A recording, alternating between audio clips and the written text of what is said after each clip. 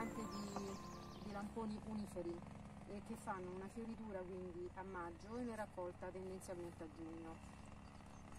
Eh, in genere abbiamo una data precisa, eh, sono due anni che raccogliamo esattamente il 3 giugno, il che ci fa pensare che probabilmente abbiamo una specie di orologio integrato, qualcosa del genere, un calendario. Eh, queste piante sono, danno dei frutti dolcissimi, molto di pezzatura medio-grande, sono molto apprezzati da, dai pasticceri infatti perché sono anche esteticamente molto belli, oltre che molto buoni ehm, li abbiamo già in parte potati, per cui qui il secco non è presente, o almeno può darsi che sia sfuggito qualche cosa, ma tendenzialmente non c'è. L'autunno molto caldo ha già mh, messo in luce tutti i nuovi germogli di polloni che fruttificheranno la stagione che viene. Noi adesso cerchiamo di raccogliere tutti quelli che sono fuori dalla corsia di, di, piantumazione, quindi la, la corsia madre diciamo così, e li spostiamo in altre corsie dove non c'è stata una, una buona riuscita del, dell'impianto precedente per reintegrare. Una cosa che eh, in questo impianto è stata fatta all'origine è la messa a dimora di sei cultivar differenti di lamponi. E abbiamo riscontrato che eh, nell'arco di questi tre anni si è creata una vera e propria ibridazione perché queste piante che come spiegavo vanno a fruttificare, cioè a, a fiorire e a fruttificare tra maggio e giugno, in alcuni casi abbiamo trovato dei frutti adesso, che non è dovuto secondo me solo a un fattore climatico, ma anche al fatto che nelle corsie vicine ci sono sempre dei lamponi di cultivar che tendenzialmente fioriscono eh, tra agosto e settembre, cioè fruttificano tra agosto e settembre. Quindi io penso che Madre Natura abbia fatto il suo corso e in qualche maniera si sia creato quel miscuglio genetico che sta dando a queste piante la possibilità di protrarre la fioritura o comunque di, di farne magari una successiva. E chissà che magari le robustisce pure e le rende meno sensibili anche a, alle condizioni climatiche più avverse che qui corrispondono all'estate eh, delle insolazioni terribili che le macchiano, tendono a macchiare il frutto di bianco e durante il periodo di primavera e di autunno a quel stato di umidità quasi perenne perché si crea una coltre di nebbia su questi campi che comincia a diradarsi intorno alle 11 di mattina. Quindi immaginate un po' caldo umido non è proprio l'ideale vediamo un attimo come stiamo, come stiamo svolgendo. Le, le buchette eh, per il trapianto sono identiche a quelle delle more. Non cambia niente perché le esigenze nutrizionali sono più o meno le stesse.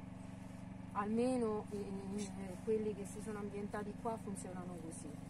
Eh, le piantine in questione, allora queste per esempio si trovano fuori corsia e adesso le spiantiamo tenendoci con la vanga, si potrebbe fare anche con la paletta ma il terreno è troppo compatto perché ha piovuto da poco quindi essendo molto argilloso è difficile riuscire in questa operazione con una paletta più piccola.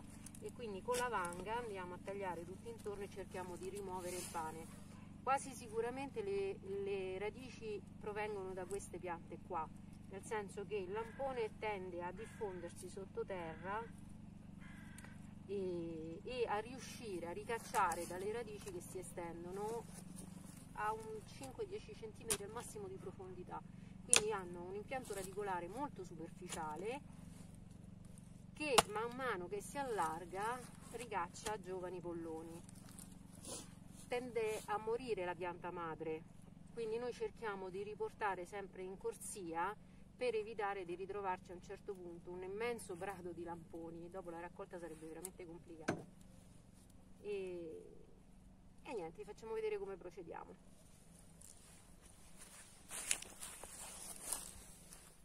Guardate un po' cosa abbiamo trovato mentre stavamo pulendo dalle erbe spontanee per fare le, le buche per i trapianti stavo rimuovendo le erbe e in mezzo ho trovato questo prova inconfutabile che visitano il nostro lamponeto.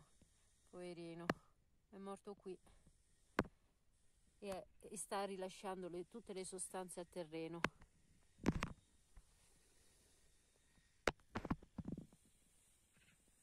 Allora, non so se si vedono, però avremo anche un terreno argilloso.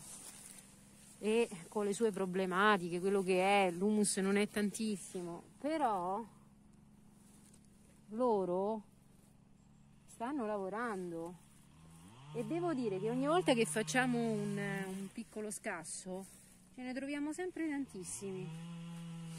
Quindi, evviva lombrighi!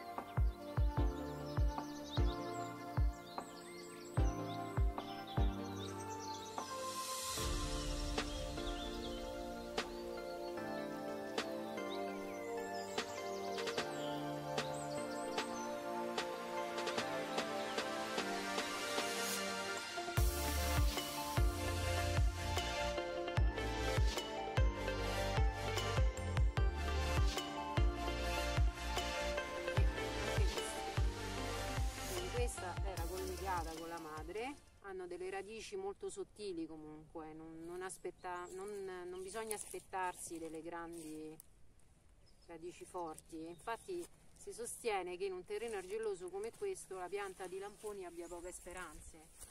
Allora, questa l'ho pulita per farvi vedere effettivamente, io lo chiamo il sistema T. Da qui, che è stata tagliata dalla vanga, arrivava la radice madre, pian piano ha ricacciato verso, verso l'alto e ha generato una nuova piantina. Questa andrà avanti e procederà nello stesso sistema, producendo nuove piantine all'infinito. Noi adesso andiamo a metterla in terra.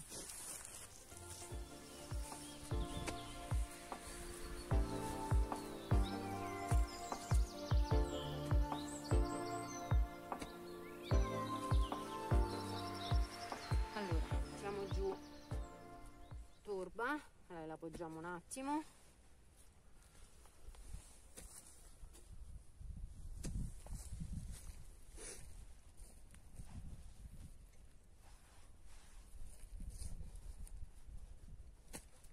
Ok.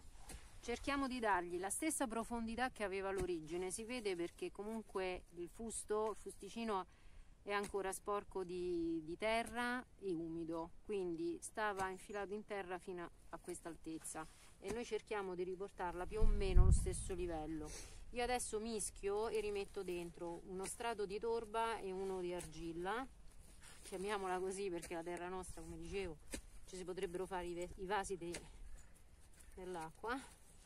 Ok l'appoggio la incastro pure in modo che sta ferma possibilmente mentre facciamo questa operazione e non comprimo troppo anche perché hanno bisogno d'aria. Ok. Metto di nuovo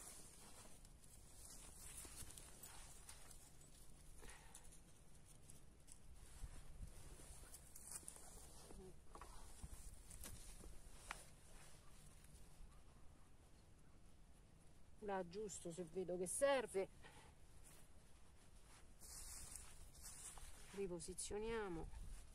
Fra qualche giorno dice che piove per cui avremo sicuramente una stabilizzazione del terreno in questa zona.